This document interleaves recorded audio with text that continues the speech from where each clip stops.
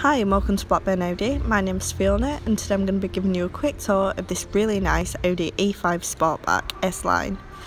It's finished in the really nice monsoon grey, which gives it 190 PS.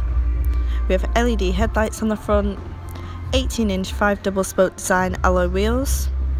It also comes with the S-Line package as well as sport suspension. We have reinforced bumpers.